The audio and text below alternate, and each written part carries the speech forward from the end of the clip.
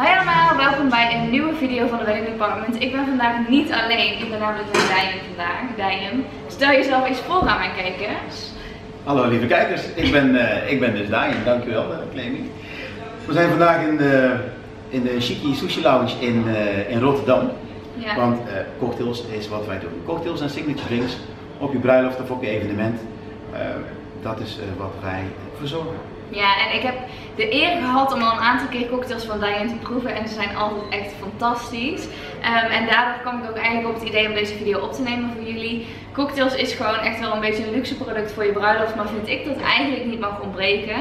En omdat ik natuurlijk wel vind dat jullie allemaal Diane in moeten huren voor jullie bruiloft, laten we eigenlijk een aantal simpele receptjes zien die je thuis kan maken. Bijvoorbeeld als je gewoon een leuke avond met je vriendinnen hebt, of voor je vrijgezellenavond, of als je een, een oefendiner hebt voor je bruiloft. Of nou, hè, welke gelegenheid dan ook. Uh, wij geven je een aantal lekkere recepten die makkelijk te maken zijn met producten die je thuis hebt. Ook niet heel onbelangrijk. Absoluut. En uh, ik ben ook een beetje een leek op cocktailgebied. Ik weet alleen heel goed wat ik wel en niet lekker vind. Kan je me helpen dan? Ja, ik ga ja? helpen, maar uh, ik weet waarschijnlijk net zo weinig als jullie. Dus laten we maar beginnen. Nou ja, als jij mij helpt, help ik jou. Ja, laten we dat doen. wat we gaan maken is eigenlijk niet zozeer, uh, niet zozeer één recept, maar uh, ik ga uh, een methode laten zien.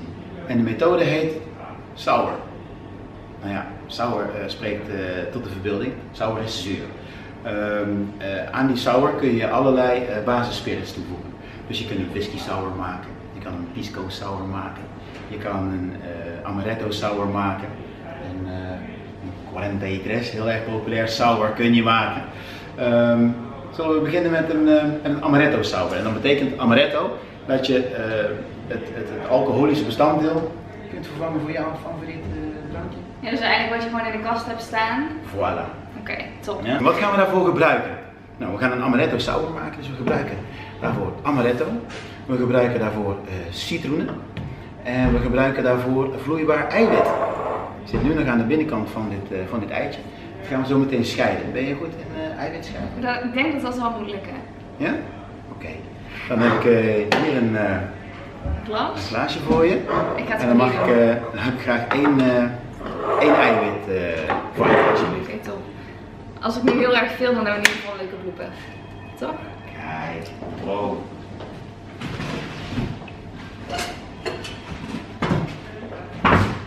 Gaat aardig goed, hè? Aardig goed zo. Nou, heel fijn. Zo goed? Perfect. Niks meer aan doen. Wat ik wilde laten zien is dat we gaan dry shaken. Dry shaken. Dry dry shaken? Ja. Vertel. dry shaken is shaken zonder ijs. Oké. Okay. Ja? We gaan shaken zonder ijs, want wat we gaan doen, we gaan eigenlijk een, een moleculair effect opwekken door uh, dit eiwit gebruik maar de helft van. Zo, dit eiwit. Dus de helft van een ei, zeg ja, maar, het eiwit. Ja, ja. ja. Het eiwit. En het uh, citroensap. Daar heb ik een, een, een Mexicaanse elleboog voor. Dit kun je ook gewoon met de hand uitknijpen. Dit kan je met de hand uitknijpen, dit kan je met je citruspers doen. Uh, dit kan ook gewoon uit een, uh, uit een flesje. Maar kijk uit met de kwaliteit. Hoe lager je gaat zitten in de, in de, in de kwaliteit bij aanvang, hoe minder je er eigenlijk van ja. kunt verwachten. Hm? Dat is eigenlijk heel, heel logisch. Hier gaat het citroensap. En uh, qua maat, maatvoering uh, gebruik je uh, in dit geval drie gelijke delen. Dat is voor iedereen het makkelijkst denk ik. En vanuit die drie gelijke delen ga je de smaak ervaren. Wat doe je er nu in? citroensap. Oh ja, maar dit? Dat is citroensap. Oh, dat is ook citroensap. Citroensap, want dat is het recept hè. eiwit van een, van een half ei. citroensap een gelijke hoeveelheid amaretto. En dan zou je kunnen gaan voor een gelijke hoeveelheid suikerwater, maar ik ga liever voor iets minder. Vind je dat ook goed? Dat vind ik helemaal goed. Ja. Kijk eens. Niet precies zoveel als de rest. En, nu... en dat suikerwater, hoe kunnen, is dat, kunnen mensen dat thuis maken? Of hoe, uh... Ja, ja. Dat, ga ik, uh, dat ga ik zo demonstreren. Oké, okay, uh, maar suikerwater is dat noemen ze ook wel simple syrup. En dat is net zoveel als uh, een kilo suiker en een liter water. Koken. En klaar. Oké. Okay. Ja. De shaker gaat dicht. En dan gaan we shaken. Een dry shake. Dus je hoort eigenlijk eh, niet heel veel. Nee.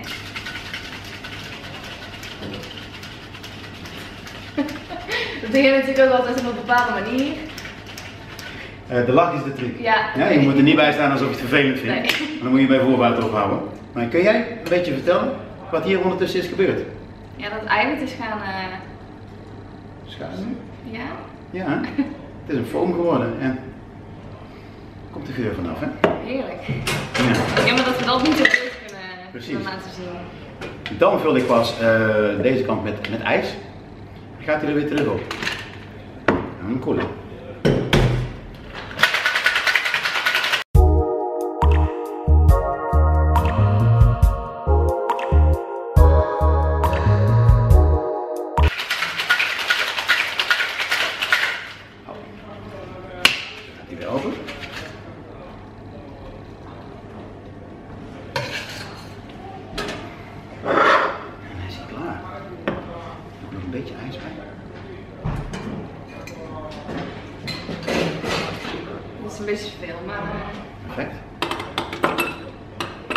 Maar mensen kunnen dit dus gewoon met eh, normale ijsklontjes doen. Ja. Ijsblokjes. Ja, absoluut. Kijk eens, daar komt hij.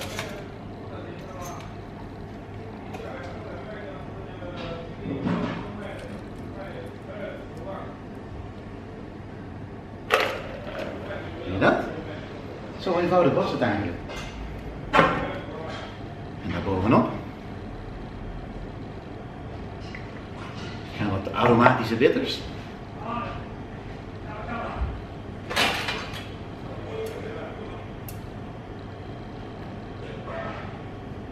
Zo. Beetje een, eh, ik noem het een eh, cappuccino design. Mhm. Het ziet er wel mooi uit. Ja toch, maar zie je hoe die overloopt, Ja, zeg maar, mooi. helemaal. En die schuimige top. Dankjewel. Kijk, en de peel, oftewel de zest van de sinaasappel, die ga ik ook nog iets toevoegen. En dit doe jij gewoon met een dunschiller. Ja, met een dunschiller, waar je ook asperges mee schilt. Of eh, Aardappelen. het, eh, het appeltje voor de lunch, als je het schilletje niet wil. Er zo vanaf. En nu gaat er iets gebeuren. Ik ga de olie eruit knijpen.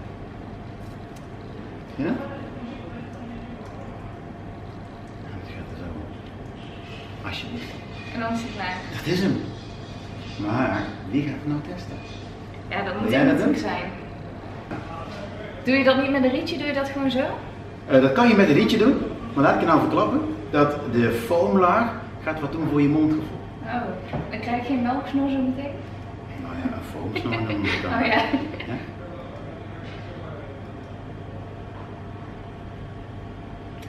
Hoe is dat? Oh, heerlijk. Echt? Echt lekker. Nou, kijk aan. Ik denk dat we straks bij het vierde recept... eh, Misschien kunnen we de receptuur een beetje aanpassen, zodat het ook echt haalbaar wordt. Ja. Heel lekker wat je zegt, omdat het schuim er bovenop zit, zodat je dat Ja. als eerste proeft. Ik wil jullie hartstikke bedanken voor het kijken. Ehm, hou mijn YouTube kanaal in de gaten, want zoals ik al zei, wij gaan dus nog drie receptvideo's opnemen. Die komen nog online. Eh, vergeet ook niet Diane te volgen op bouwblog.nl en alle bijbehorende kanalen. Ik zal ze hier ook eventjes in beeld zetten. Komt dat ook hier in beeld? Ja, dat komt hier in beeld. Ja, of Ja. het is misschien gespiegeld, dus misschien voelt het wel hier. Oh, nou, hier vind ik ook een hele mooie plek.